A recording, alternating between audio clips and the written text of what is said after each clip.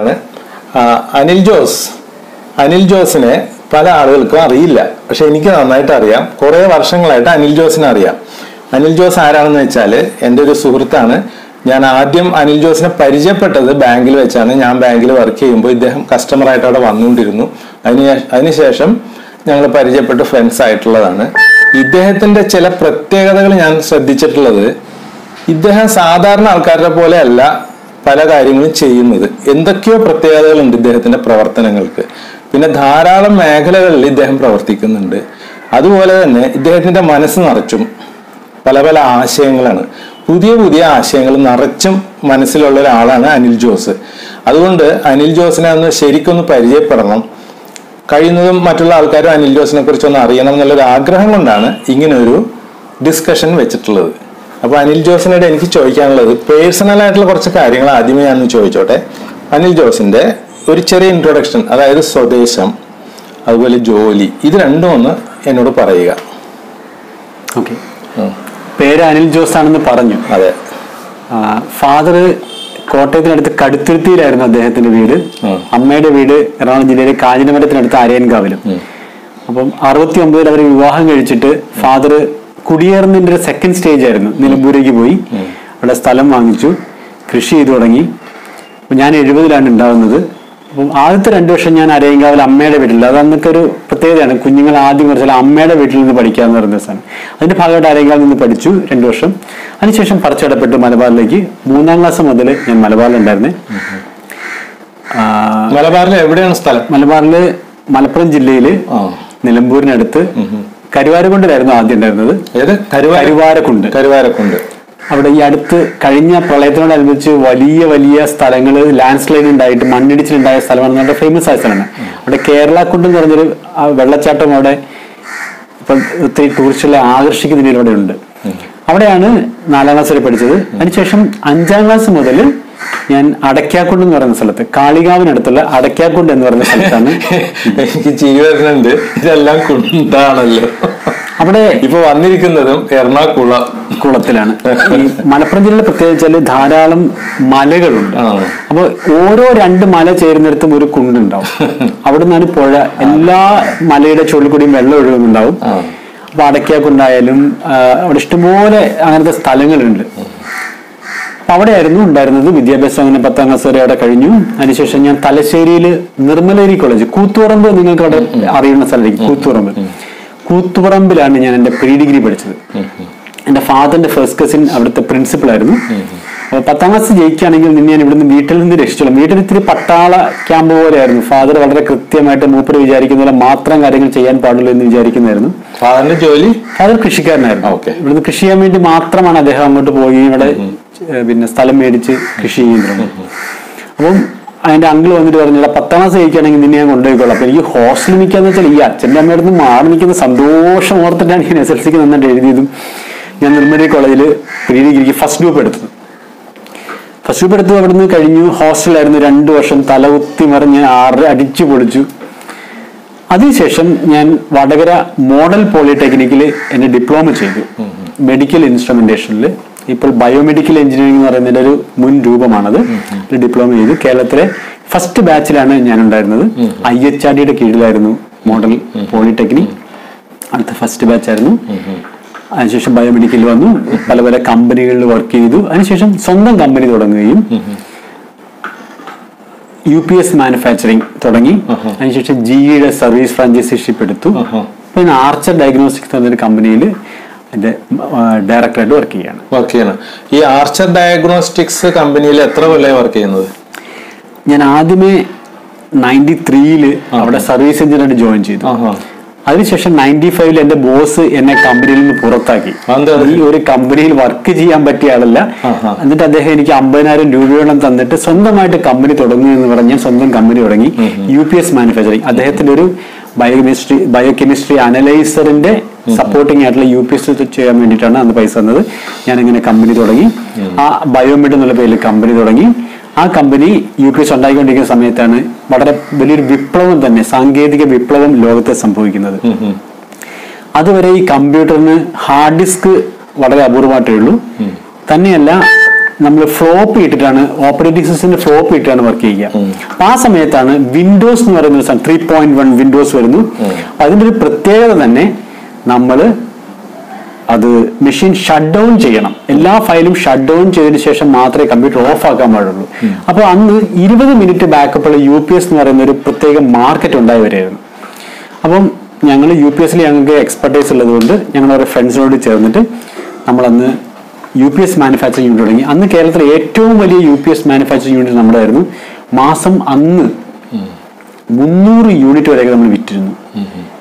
അതിനുശേഷം പിന്നെ ഇഷ്ടംപോലെ വലിയ വലിയ കമ്പനികൾ രംഗത്ത് വരികയും നമ്മൾ ആ ഫീൽഡിൽ നിന്ന് പുറത്തു വരികയും ചെയ്യുകയാണ് യു പി എസിൽ നിന്ന് പുറത്തു അങ്ങനെ ഇരിക്കുകയാണ് എന്റെ ഒരു ഫ്രണ്ട് വഴി ജിയുടെ സർവീസ് ഫ്രാഞ്ചൈസ് ജി എന്ന് വെച്ചാൽ ജനറൽ ഇലക്ട്രിക് ലോകത്തിലെ ഏറ്റവും പഴയ കമ്പനികളിലൊന്ന് ഏറ്റവും റെപ്യൂട്ടഡ് കമ്പനികളിലൊന്ന് അമേരിക്ക ബേസ് ചെയ്തിട്ടുള്ള ജനറൽ ഇലക്ട്രിക് അവരുടെ medical division G health G medical services എന്ന് പറഞ്ഞ കമ്പനിയുടെ നോർത്ത് കേരള സർവീസ് ഫ്രാഞ്ചൈസിഷിപ്പ് എടുക്കുകയും അവിടെ വർക്ക് ചെയ്യാൻ തുടങ്ങുകയും ചെയ്തു. അങ്ങനെ ഞാൻ കോഴിക്കോടേക്ക് തിരിച്ചു പോയി. അപ്പോൾ എന്റെ ഫ്രണ്ട് ബിവി ഇവിടുത്തെ U P S manufacturing continue ചെയ്തിരുന്നു. പക്ഷേ നിവൃത്തിയില്ലായ്മ കൊണ്ട് കാരണം വലിയ വലിയ കോർപ്പറേറ്റ് കമ്പനികളൊക്കെ വന്ന് വന്ന് നമ്മൾ യു പി എസ് മാനുഫാക്ചറിന് പുറത്തു വരികയാണ് ഉണ്ടായത്.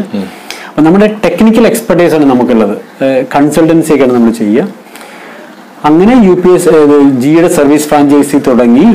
നാല് വർഷത്തോളം അവിടെ ഉണ്ടായിരുന്നു. എന്റെ കൊളീഗ്സ് തനിയെ നിൽക്കാൻ പര്യാപ്തരായപ്പോഴത്തേക്ക് ഞാൻ അവിടെ നിന്ന് തിരിച്ചു വരികയും ആ സമയത്ത് ആർച്ചറിലെ എന്റെ ബോസ് ഒരു ബൈപ്പാസ് കഴിയുകയും അദ്ദേഹം എന്നെ തിരിച്ചു വിളിച്ചിട്ട് കമ്പനിയുടെ ഡയറക്ടറായിട്ട് ജോയിൻ ചെയ്യാമോ എന്ന് ചോദിക്കുകയും ബോസിന്റെ പേരെന്താണ്? T K Prakash. അദ്ദേഹം തലശ്ശേരിക്കാരനാണ്. പ്രകാശ് സാർ എന്നോട് പറഞ്ഞു ഈ കമ്പനി നടത്തണം. നിന്നെ ഞാൻ ഈ കമ്പനിയിൽ നിന്ന് പുറത്താക്കിയതാണ്. നിന്നെ അർഹതപ്പെട്ട റോളോടുകൂടി ഞാൻ തിരിച്ചു വിളിക്കുകയാണ്. കമ്പനി നടത്താൻ വേണ്ടിയിട്ട്. സ്റ്റാഫായിട്ടല്ല. അങ്ങനെ ഞാൻ രണ്ടായിരത്തി മൂന്നിൽ വീണ്ടും ഈ കമ്പനിയുടെ ഡയറക്ടറായിട്ട് ജോയിൻ ചെയ്തു. രണ്ടായിരത്തി മൂന്ന് മുതൽ ഇപ്പോഴും അവിടെ വർക്ക് ചെയ്യുന്നു. കമ്പനിയിൽ നിന്ന് പുറത്താക്കി എന്ന് പറയുമ്പോൾ അത് ഒരു റിലേഷൻ ബ്രേക്ക് ചെയ്തിട്ട് പുറത്താക്കിയതായിരുന്നില്ല അല്ലെ? അന്ന് എനിക്കത് അറിയില്ലായിരുന്നു. എന്നോട് പറഞ്ഞു നാളെ മുതൽ നീ വരണ്ട നിന്റെ ഒരു മാസം അഡ്വാൻസ് സാലറി ഒക്കെ മേടിച്ചോളൂ പോയിക്കോളൂ എന്ന് പറഞ്ഞു. അല്ല അന്ന് അമ്പതിനായിരം രൂപ തന്നില്ല. അപ്പൊ ഞാൻ വീട്ടിൽ പോയി തളർന്നിരിക്കരുത് എന്തായി സംഭവം? ഒന്നും പിടുത്തം കിട്ടുന്നില്ല. പിന്നീടാണ് വീണ്ടും ഓഫീസിൽ തന്നെ വിളിക്കുന്നു. സാറിനെ കാണണം. ഞാൻ ചെന്ന് കണ്ടു. അപ്പോൾ ഇതിന് സപ്പോർട്ടിംഗ് ആയിട്ടുള്ള യു പി എസ് ഉണ്ടാക്കാൻ വേണ്ടിയിട്ടാണ് നിന്നെ ഇവിടുന്ന് പുറത്താക്കിയത്. അപ്പം പക്ഷെ നല്ലൊരു ഉദ്ദേശത്തോടുകൂടിയല്ലേ അത് ചെയ്തത്? ആണ്. അപ്പൊ ഒരു കമ്പനിയിൽ അന്നത്തെ എന്റെ ആ സമയത്ത് എന്റെ ഒരു എനർജി വെച്ചിട്ട് ഒരു കമ്പനിയിൽ സ്റ്റാഫായിട്ട് വർക്ക് ചെയ്യേണ്ട ആളല്ല എന്ന് അദ്ദേഹം തിരിച്ചറിഞ്ഞു എന്ന് പറയുന്നത്. പക്ഷെ അത് നമുക്കറിയില്ല. ഞാൻ കംഫർട്ട് സോണിൽ വർക്ക് ചെയ്യുന്ന സമയത്ത് എനിക്ക് I M getting monthly salary കിട്ടിക്കൊണ്ടിരിക്കുന്നു. സുഖമായിട്ട് ഇങ്ങനെ യാത്ര ചെയ്യുന്നു. എന്റെ യാത്രകളെല്ലാം ഞാൻ സ്കൂളിൽ പഠിക്കുന്ന സമയത്തൊന്നും എക്സ്കർഷന് പോയിട്ടേ ഇല്ല. കാരണം വീട്ടിൽ അങ്ങനെ സാഹചര്യം ഉണ്ടായിരുന്നില്ല. അന്ന് കൃഷിക്കാരെ സംബന്ധിച്ചിടത്തോളം കുടിയേറ്റ കർഷകരെ സംബന്ധിച്ചിടത്തോളം ഡെയിലി കാര്യങ്ങൾ നടന്നു പോകുക എന്ന് പറയുന്ന കാര്യങ്ങൾ മാത്രമേ നടന്നിരുന്നുള്ളൂ. പിന്നെ ഇഷ്ടംപോലെ കേസൊക്കെ ഉണ്ടായിരുന്നു ഫാദറിന്റെ പേരിൽ. ഈ ഫാദർ പിന്നെ കൃഷി സ്ഥലമായിട്ട് ബന്ധപ്പെട്ട കേസുകളിലൊക്കെ ഉൾപ്പെട്ടു പോയി അങ്ങനെയൊക്കെ ഒരു രീതിയിലും അവിടെ സപ്പോർട്ടിങ് ഉണ്ടായിരുന്നില്ല ഞാൻ വർക്ക് ചെയ്യാൻ വന്നതിന് ശേഷമാണ് ഐ ട്രാവൽ ഇന്ത്യയിൽ ഓൾമോസ്റ്റ് എല്ലാ സ്ഥലങ്ങളിലും ഈ ജോലിയുടെ ഭാഗമായിട്ട് എനിക്ക് ട്രാവൽ ചെയ്യാൻ പറ്റിയിട്ടുണ്ട്. ഇപ്പോഴും ട്രാവലിനെ ഭയങ്കരമായിട്ട് ഇഷ്ടപ്പെടുന്നു ഭയങ്കര ഇഷ്ടമാണ്. അത് വനത്തിലേക്കാവട്ടെ വെള്ളത്തിലേക്കാവട്ടെ ആകാശത്തിലേക്കാവട്ടെ എങ്ങനെ ട്രാവൽ ചെയ്യാൻ ഞാൻ തയ്യാറാണ്. അതുകൊണ്ടാണ് അങ്ങനത്തെ കുറെ സംരംഭങ്ങളിൽ ഏർപ്പെട്ടിരിക്കുന്നതും പല പരിപാടികളും നടത്തിക്കൊണ്ടിരിക്കുന്നതും. രണ്ടായിരത്തി പതിനൊന്നിൽ നമ്മൾ ആൻസ് എന്ന് പറഞ്ഞിട്ട് adventurous and natural trekking society എന്ന് പറഞ്ഞിട്ട് ഒരു ട്രക്കിംഗ് സൊസൈറ്റി ഫോം ചെയ്യുകയും ഞാൻ എന്റെ ഫൗണ്ടർ സെക്രട്ടറി ആയിട്ട് വർക്ക് ചെയ്യും. അതിന്റെ പ്രസിഡന്റ് ആയിരുന്നു ഈ ഇരിക്കുന്ന ജോസ് മോഹൻ സാർ. അദ്ദേഹം യു അപ്പൊ നമ്മൾ കുടുക്കി അതിനകത്ത് പ്രസിഡന്റ് ആക്കിയതാണെന്ന് അദ്ദേഹം പല പ്രാവശ്യം. അതെനിക്കറിയാം. അത് പോട്ടെ. അയാൾ യാത്ര ചെയ്യണം എന്നുള്ളൊരു താല്പര്യം കുട്ടിക്കാലം തുടങ്ങി ഉണ്ടായിരുന്നത് കൊണ്ടാണ് ഇങ്ങനെ പല കാര്യങ്ങളും ചെയ്തിട്ടുള്ളത്. ഇപ്പോഴും അത് വീണ്ടും സജീവമായിട്ട് തുടർന്നുകൊണ്ടിരിക്കുന്നുണ്ടെന്നാണ് ഞാൻ മനസ്സിലാക്കിയിട്ടുള്ളത്. ഞാൻ അഞ്ചാം ക്ലാസ് പഠിക്കുന്ന സമയത്ത് തന്നെ നാട്ടിലേക്ക് വരുന്ന സമയത്ത് ഞാൻ ഒറ്റയ്ക്ക് വരുമായിരുന്നു. എനിക്ക് ഇഷ്ടമായിരുന്നു ഇങ്ങനെ ഇങ്ങനെ കയറി ഇങ്ങോട്ട് പോരുക. അതുപോലെ കോളേജ് പഠിക്കുന്ന സമയത്തും എന്റെ വെക്കേഷൻസ് എല്ലാം ഞാൻ പല പല സ്ഥലങ്ങളിലായിരിക്കും. ഞാൻ എന്റെ ഡിപ്ലോമയ്ക്ക് പഠിക്കുന്ന സമയത്ത് എന്റെ ഫസ്റ്റ് ഇയർ മുതൽ ത്രീ ത്രീ ഇയർ വരെ ഞാൻ വല്ലപ്പോഴും മാത്രം എന്റെ വീട്ടിൽ പോവുകയും എന്റെ ഫ്രണ്ട്സിന്റെ വീടുകളിൽ എല്ലാ അവധിക്കും ഏതെങ്കിലും ഫ്രണ്ടിന്റെ വീട്ടിൽ പോവുക. പലരുടെ വീട്ടിലും അവർ ചെല്ലുന്നതിനേക്കാൾ കൂടുതൽ ഞാനാണ് ചെന്നിട്ടുള്ളത്.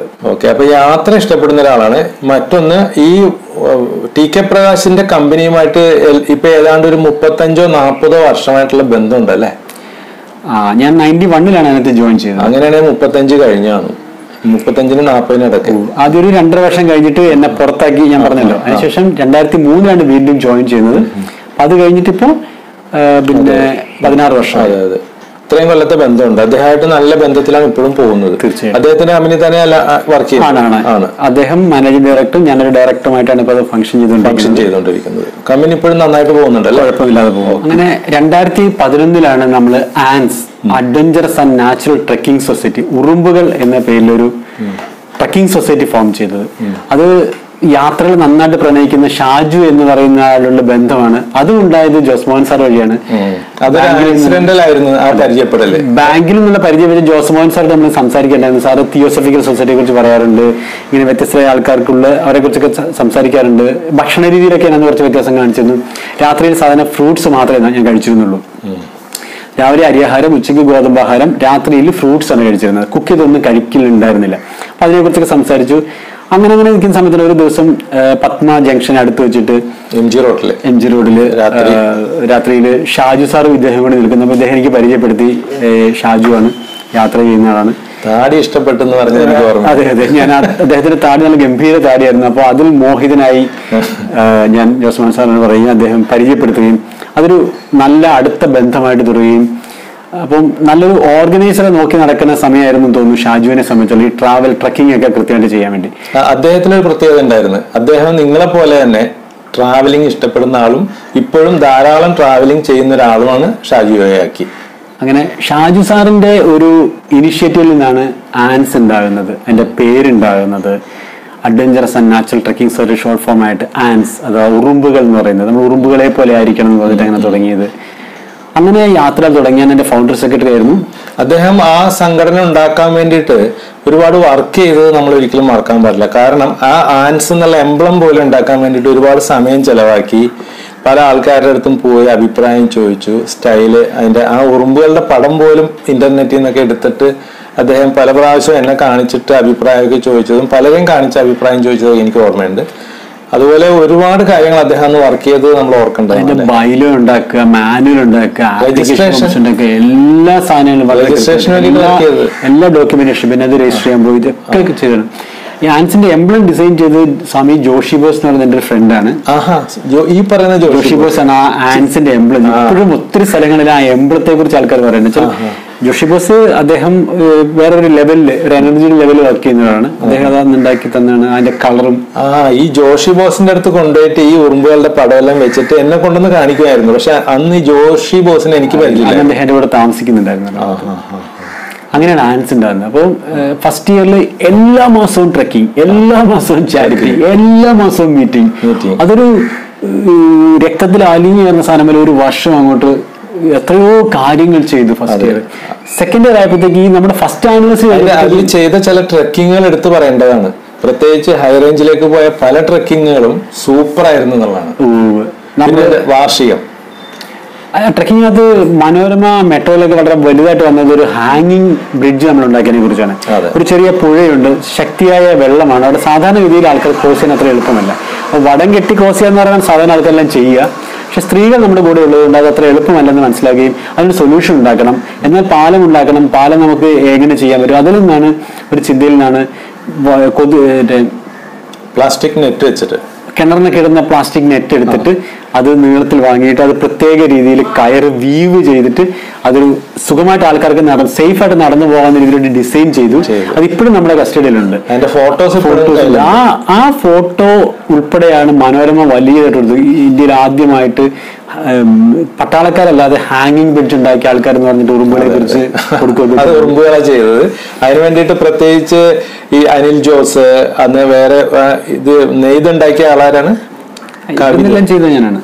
അനിൽ ജോസഫ് പിന്നെ നിങ്ങളെ സഹായിച്ചു. അതുപോലെ അതിന് വേണ്ടിയിട്ടുള്ള കയർ കെട്ടാനുള്ള ഇരുമ്പ് മുറ്റികളെല്ലാം മേടിച്ച് കെട്ടിയതൊക്കെ ഷാജു ആണെന്ന് എനിക്ക് തോന്നുന്നു. ഷാജു ഞാൻ കൂടിയാണ് കൂടുതൽ അതിനകത്ത് ചെയ്തത്. പിന്നെ നിങ്ങൾ പോയിട്ട് ട്രയൽ ചെയ്തിരുന്നു ആദ്യമേ? അതെ അതെ അതെ. ടൂർ പോകുന്നതിന് മുന്നേ. അതെ അതെ. അത്രയധികം വർക്ക് ചെയ്തിട്ടുണ്ട് ഈ- ട്രാവലിംഗ് ഓരോ ടൂറിന് മുമ്പും ഷെഡ്യൂൾ ചെയ്ത ട്രയൽ ട്രക്കിംഗ് നടക്കും. ട്രയൽ ട്രക്കിംഗ് നടന്ന് എവിടെ ഇരിക്കണം എവിടെ ഇരുന്ന് നമ്മൾ സംസാരിക്കണം എവിടെ നിന്ന് ഭക്ഷണം കഴിക്കണം എവിടെ നിന്ന് വെള്ളം കുടിക്കണം അത്തരം കാര്യങ്ങളെല്ലാം പ്ലാൻഡ് ആയിട്ടാണ് ഷാജു ഇത് ചെയ്തുകൊണ്ടിരുന്നത്. സിസ്റ്റമാറ്റിക് ആണ് ചെയ്തുകൊണ്ടിരുന്നത്.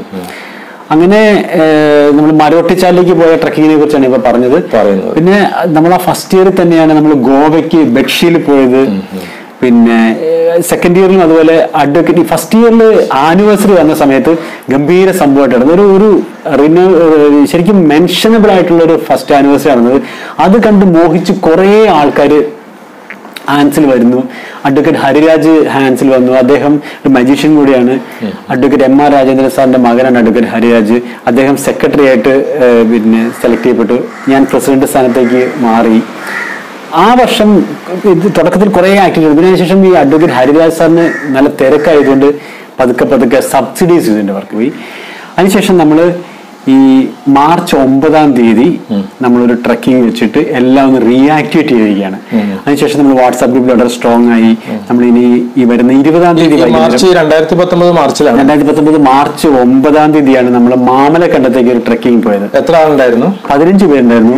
എട്ട് പുരുഷന്മാരും ഏഴ് സ്ത്രീകളുണ്ടായിരുന്നു. ഒക്കെ നമ്മുടെ പഴയ ആൾക്കാരായിരുന്നു കൂടുതൽ വരും പുതിയ കുറച്ച് ആൾക്കാർ വന്നിരുന്നു അപ്പൊ വീണ്ടും ഇങ്ങനെ ഒരു സംവിധാനം റീആക്ടിവേറ്റ് ചെയ്യുന്ന ഒരു തീരുമാനം അവിടെ ഉണ്ടായി. അതിന്റെ ഭാഗമായിട്ട് ഇരുപതാം തീയതി വൈകുന്നേരം അഞ്ചു മണിക്ക് ഹൈക്കോടതി അടുത്തുള്ള ബാർ കൗൺസിൽ ഹാളിൽ വെച്ചിട്ട് നമ്മൾ ജനറൽ ബോഡി മീറ്റിംഗ് വിളിച്ചിട്ടുണ്ട്. ഇരുപതാം തീയതി വീണ്ടും നമ്മൾ റീആക്ടിവേറ്റ് ചെയ്യാണ്. അപ്പൊ ആൻസ് ഏതായാലും വീണ്ടും നന്നായിട്ട് വീണ്ടും പ്രവർത്തിക്കാനുള്ള ഒരു തീരുമാനത്തിൽ എത്തിയിട്ടുണ്ട് അത് വളരെ നല്ല സന്തോഷം. ഇനി വേറൊന്ന് അനിൽ ജോസിന്റെ അടുത്ത് ചോദിക്കാനുള്ളത് നമ്മൾ വീട്ടുകാർ കാര്യങ്ങളൊക്കെ ചോദിച്ചു ഫാദറിനെ കുറിച്ചെല്ലാം പറഞ്ഞെങ്കിലും ബ്രദേഴ്സ് സിസ്റ്റേഴ്സ് അവരെ കുറിച്ചൊന്നും പറഞ്ഞൊന്നുമില്ല. ഞാനാണ് വീട്ടിലെ എൽഡർ ആയിട്ടുള്ള ആൾ. എന്റെ അനിയത്തി ഒരു അനുജൻ അനിയത്തി. അങ്ങനെ രണ്ട് സിസ്റ്റർമാരും ഒരു അനുജനുള്ളത് എല്ലാവരും മാരീഡ് ആണ്. കുഞ്ഞുങ്ങളൊക്കെ ആയിട്ട് സുഖമായിട്ട് അവർ അവരുടെ സ്ഥലങ്ങളിൽ ജീവിക്കുന്നു. അമ്മ എന്താ ചെയ്യുന്നത്? അമ്മ വീട്ടിലുണ്ട്. അച്ഛൻ മരിച്ചുപോയി. അമ്മ വീട്ടിൽ തന്നെ. മൊബിലിറ്റി പ്രശ്നമുണ്ട്. മുട്ട ചെറിയ പ്രശ്നമുണ്ട്. പക്ഷേ ഷീസ് മാനേജിങ്. മറ്റേ ഈ പ്രൊഫഷണൽ ഫീൽഡിൽ എന്തെങ്കിലും ഇനി പറയാനുണ്ടോ? ഞാൻ ആർച്ച് ഡയഗ്നോസ്റ്റിക്സിൽ വർക്ക് ചെയ്യാണെന്ന് പറഞ്ഞില്ല? അപ്പോൾ ആർച്ചിൽ നമ്മൾ ആദ്യം ചെയ്തുകൊണ്ടിരുന്നത് വെച്ച് കഴിഞ്ഞാൽ ലാബ് ഓട്ടോമേഷൻ സപ്പോർട്ട് ചെയ്യലായിരുന്നു ചെയ്തുകൊണ്ടിരുന്നത്. ഓട്ടോമേ ബയോകെമിസ്ട്രി ലാബുകളില്ലേ ബ്ലഡ് ഒക്കെ ചെക്ക് ചെയ്യുന്ന അത് സപ്പോർട്ട് ചെയ്യലായിരുന്നു. ഇവിടുത്തെ ഇൻഡസ്ട്രിയിൽ നമ്മൾ ഓട്ടോമേഷൻ കൊണ്ടുവന്നതിൽ ഒരു പ്രധാന പങ്ക് ആർച്ച് ഡയഗ്നോസ്റ്റിക്സിനാണുള്ളത് അത് ഈ ഗ്ലാസ് സിറിഞ്ചിന് പകരം ഡിസ്പോസിബിൾ കൊണ്ടുവന്നതിന് മുതൽ അങ്ങനെ ഒത്തിരി ഒത്തിരി മെഡിക്കൽ മേഖലയിൽ ഒത്തിരി ഇന്നോവേറ്റീവ് ടെക്നോളജി കൊണ്ടുവന്ന കമ്പനിയാണ് ആർച്ച ഡയഗ്നോസ്റ്റിക്സ് പല കാര്യങ്ങളും. അതിൽ ഒന്നാണ് ഈ ഡിസ്പോസിബിൾ സിറിഞ്ച് എന്ന് പറയുന്ന ഒരു കൺസെപ്റ്റ് കൊണ്ടുവന്നതിനകത്ത് ചർച്ച നന്നായിട്ട് പങ്കെടുത്തിട്ടുണ്ട്.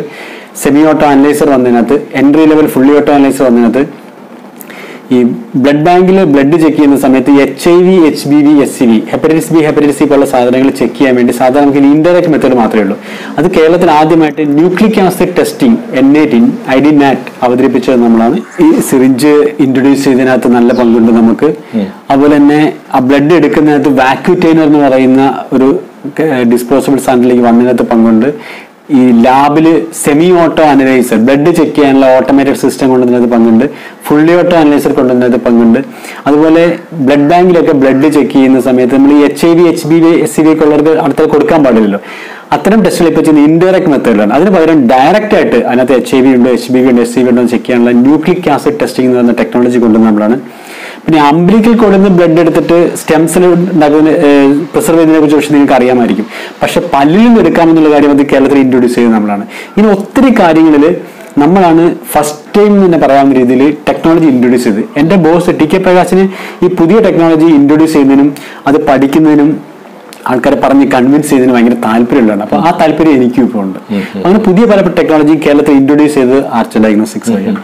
ഇപ്പൊ നമ്മൾ ചെയ്തുകൊണ്ടിരിക്കുന്നത് എസ്പെഷ്യലി മറ്റെല്ലാ വർക്കിൽ നിന്നും വിട്ടിട്ട് നമ്മൾ സ്പെഷ്യലി ചെയ്തുകൊണ്ടിരിക്കുന്നത് മെഡിക്കൽ വിഭാഗത്തിലുള്ള ഡെന്റൽ ക്ലിനിക്സ് ലബോറട്ടറി മെഡിക്കൽ കമ്പനികൾ ഹോസ്പിറ്റലിലെ സർട്ടിഫിക്കേഷൻ അക്രഡിറ്റേഷൻ അത്തരം കാര്യങ്ങൾ നമ്മൾ ചെയ്യുന്നത്.